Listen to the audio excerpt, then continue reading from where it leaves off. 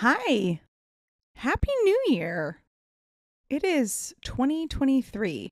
How many of you, I mean, I know I will, how many of you are going to take like at least a month to get used to writing that when you have to sign a date on something? Like we're getting ready to close on our house, and I know I'm going to have to sign my name and date like 95 times. And I'm like, how many of those signatures will say 2022? And I'll have to do the thing where I like scribble it out or I try to like make the two a three, you know? Anyway, Happy New Year. It is a brand new year. New year, new me. No. I don't I don't think I've ever subscribed to New Year, new me. New year, new possibilities. New year, new expansion. New year, more delicious choices and freedoms. I think though that's that's more my speed. Uh today I'm going to give you a human design thing, um, and I'm going to talk about a little bit about kind of goal setting with your human design. I'm going to give you like some tips based on each type. And then I'm going to give you kind of like my strategy for January as a business owner, and you can feel free to steal it if you want. Okay, so human design and goal setting. Okay, here's some tips. So I'll start with my generator types. Generators, I mean, and manifesting generators.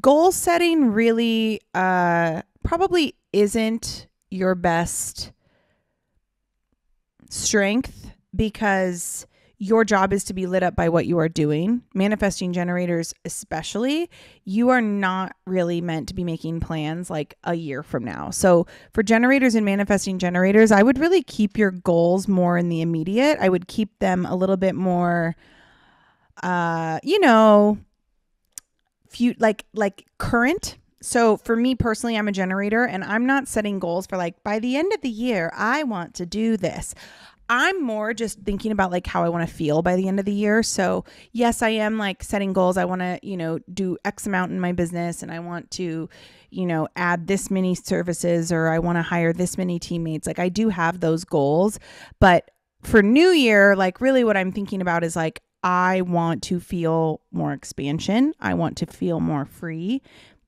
and I'm going to do things that give me those feelings because those feelings light me up. And if I'm lit up, everyone wins. Manifesting generators, you're going to probably have a lot of ideas at the beginning of the year. You always do. You're always like, oh, I can do this and I can do that. And what if I want to do this? And what if I want to do that? And all of those things are really powerful. Um, but don't, I would say, like, don't hold yourself to them because they could change. And when y'all, get yourself into this space of like, well, no, I said I was going to do this. So now I have to finish it out. Then you start to get really burnt out. And that's when you start to feel frustrated and angry. And so, my advice to you is to keep your goals short. And if there's things you want to put out, so like if you're in, if you're in the coaching industry and you want to put out things, do them quickly. Don't schedule something for like 3 months down the line. Like don't start pre-sale for something in 3 months. Like what master classes do you want to do in January? Put them out. Um give yourself give yourself short timelines. Let your excitement like follow through with your excitement quickly because that's that's your skill. Like y'all are your your hyper speed right? When you have an idea you can execute it in seconds. So really give yourself that power to do so. Uh, my projectors goal setting for you is a little bit is a little bit more tactile. Like i think i think projectors like you like to look at your life and be like, these are all the things I'd like to accomplish. So I would say, if anything, just get really clear on what you want to do.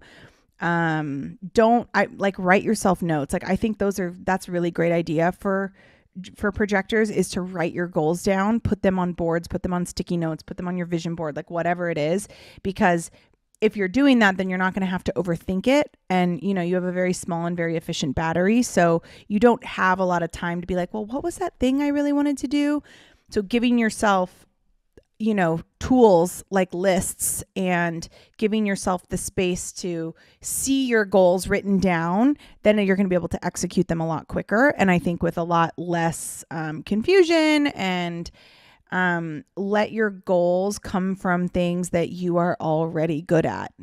So don't look for the validation from others when it comes to setting your goals for the new year. Like really just pay attention to what are you interested in, what are you good at and make goals around those things. Manifestors there's probably something that you're like, "Ooh, that sounds really fascinating." And maybe you didn't act on it in 2022. I would say now's the time to act on it and just like bust it out just similar to a manifesting generator like when you're when you're ready to go like you're ready to go. And so i think goal setting for you is more of like what's that thing? That thing that you've just been so excited about. Now is the time to just like make it happen.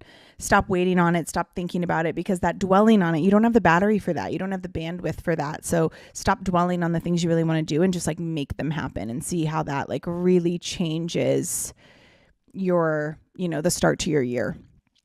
And reflectors, I think goal setting for you is um it's more nuanced.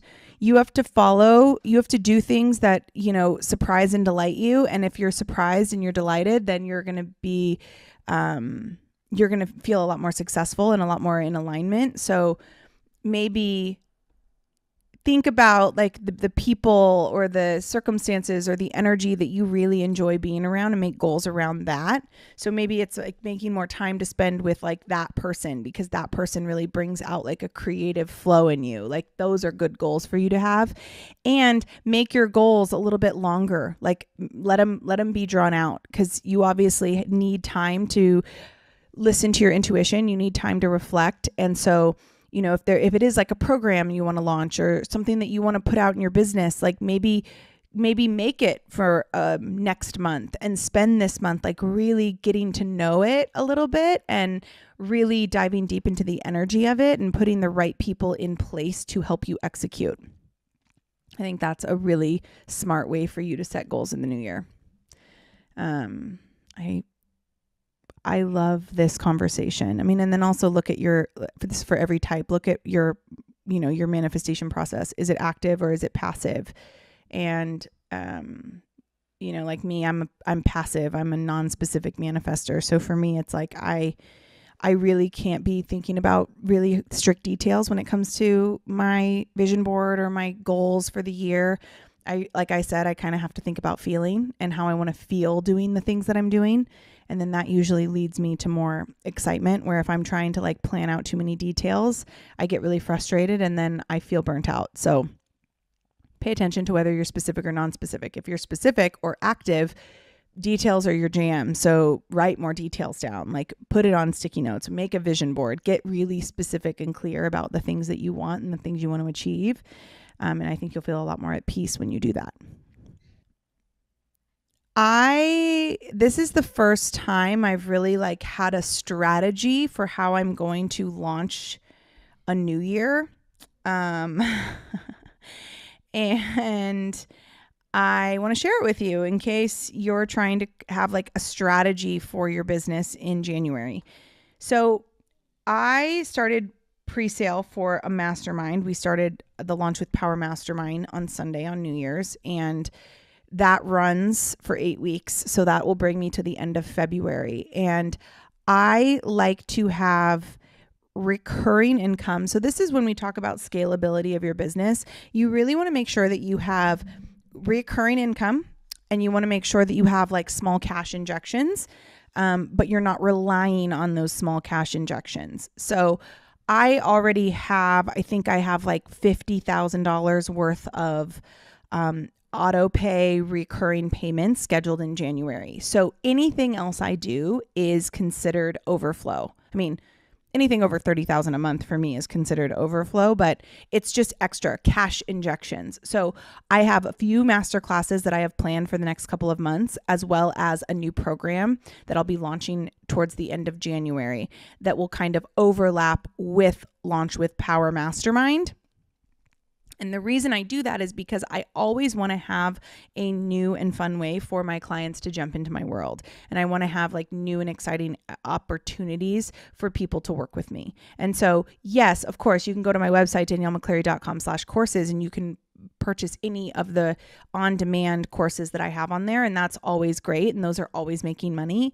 But having something new to like draw new clients in is a really great way. But then also having like a flow for people. So, if I am if I have a mastermind that somebody's going to be a part of, I'm going to think about okay, they're going to be done at the end of February, so then how can I move them along into something else? So I'll I'll start to think about different programs that I can launch around the end of the other one so people can like seamlessly stay in my world.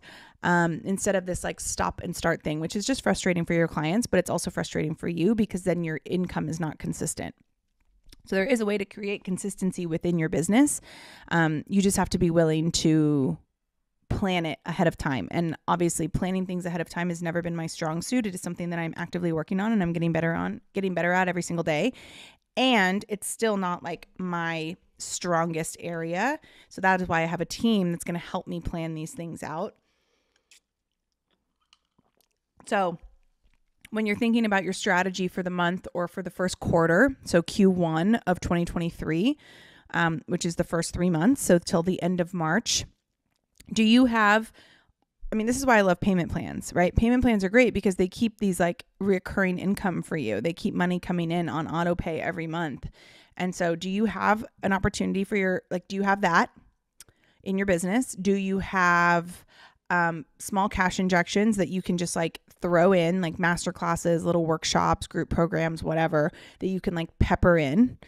Um, and do you have a funnel that keeps people in your world? So, like, do you have things that move your clients? So, if somebody came into my world um, last week because they participated in the Shift Forward masterclass, do I have a way for them to continue to stay in my world? Yes, I have the Launch with Power Mastermind. So, the Launch with Power Mastermind is a perfect way for somebody to stay in my world and continue to work on the things that they're working on.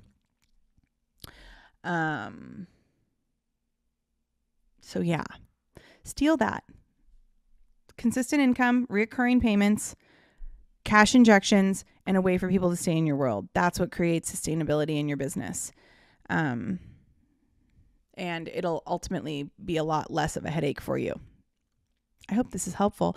I hope that you have a great start to your New Year's. I am looking forward to 2023. 2022 for me felt like a lot of like sh- chains were breaking off. Like I felt like I was like taking armor off all year and like really getting clear on like who I wanted to become and I just feel like 2023 is going to be a year of huge expansion for me and um just massive growth on like all levels, not just my business. And I'm really looking forward to that. And I'm I'm wishing you the same thing. My coach asked me um, last week at the end of the year, how do you want your clients to feel going into 2023? And I said, uh, open, ready, expansive, and free. And that is what I hope for you. I hope that you are going into this year feeling that, or that you have a path that you've laid out for yourself in order to feel more like that. And obviously, if you don't feel like that, there are so many ways to jump into my swimming pool. And I would love to have you come swim with us because this is what we do over here in my land. So happy 2023, y'all. See you next week with a brand new episode, or see you on Friday with a brand new episode. Love ya.